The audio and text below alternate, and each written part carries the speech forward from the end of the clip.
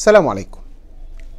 هدية النهاردة يمكن خاصة بفريق معين من الناس أو بطائفة معينة من الناس. وبلاش تتهمني بالعنصرية. بس الحقيقة وأنا فاتح الاتصالات في يوم الحد والتلات بيجيني اتصالات إما من جوه مصر أو بره مصر ناس كتيرة قد انفطر قلبها على أبنائهم الذين ماتوا في الغربة. ودايما الأم بتسأل وتطمن بعد موت ابنها بالله عليك قول لي ابني في الجنة ولا في النار؟ بالله عليك قول لي ابني ثوابه عند ربنا إيه؟ يا شيخ ده كان بر بينا قوي يا شيخ ده كان بيعمل يا شيخ ده كان بيسوي. فوقفت كده مع حضرة النبي صلى الله عليه وسلم علشان أسأل النبي صلى الله عليه وسلم وعلشان أبرد قلب كل أم ابنها مات في سفر. ايا كان السفر ده على فكرة ممكن يكون سفر داخلي أو سفر خارجي.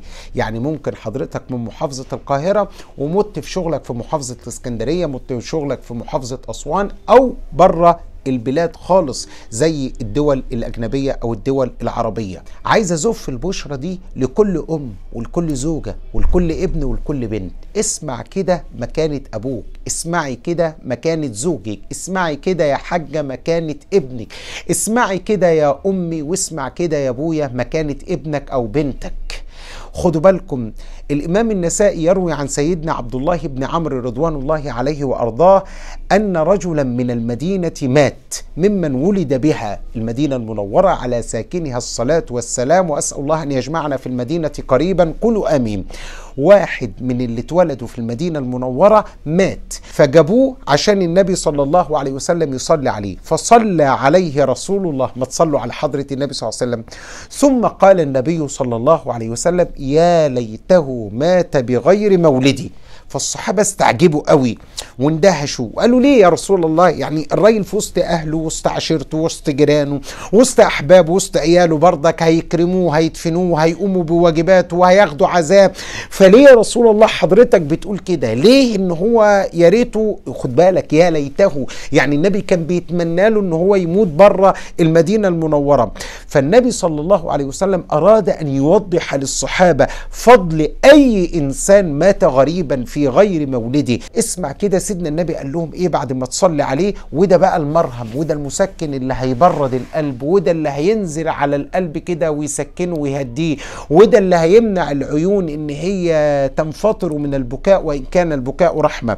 قال النبي عليه الصلاة والسلام إن الرجل إذا مات بغير مولده قيس قيس له من مولده إلى منقطع أثره في الجنة. الله أكبر. تخيل بقى حضرتك لو حضرتك مثلا من القاهرة أو من مصر وبعدين آه حضرتك ركز بس معايا عشان لسه الكلام ليه بقية. آه وحضرتك مت مثلا آه من القاهرة مت في أسوان. فتخيل بقى إن هيتقاس لك المسافة من القاهرة لأسوان. طب وبعدين يعني بعد ما الملكة تقيس لي المسافة دي بقى اسمع النبي صلى الله عليه وسلم بقى. يقول إيه؟ فلو أنت أدنى واحد نصيب في الجنة ركز بقى.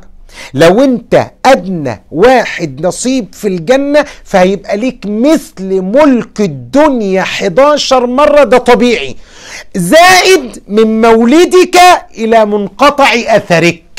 يا الله تخيل كده من المكان اللي أنا اتولدت فيه لحد المكان اللي أنا مت فيه ده زيادة على نصيبي في الجنة. فضلا بقى إن النبي صلى الله عليه وسلم قال لنا ان أدنى واحد أفقر واحد في الجنة اللي مش لاقي يأكل في الجنة اللي ما لقلوش مكان في الجنة زي ما بنقول كده نصيبه مثل ملك الدنيا 11 مرة. يزيد عليها الراجل ده لو طلع أدنى واحد في الجنة ده ميت بره بلده يقاس له من مولده إلى منقطع أثره يعني المكان اللي مات فيه ثم يكون له ذلك نصيبا في الجنة فضلا عن أن الغريب شهيد. فأبشروا واستبشروا وادعوا لأبنائكم ولأزواجكم ولزوجاتكم ولمن مات في الغربة. أسأل الله العلي القدير أن يجعل هذه الهدية سكينة على قلوب المحبين. إنه ولي ذلك ومولاه وهو القادر عليه. صباحكم أمل صباحكم رحمة صباحكم نور صباحكم موصول بالنبي الرسول. وصلي اللهم وسلم وبارك على نبي البركات وعلى آله وصحبه وسلم.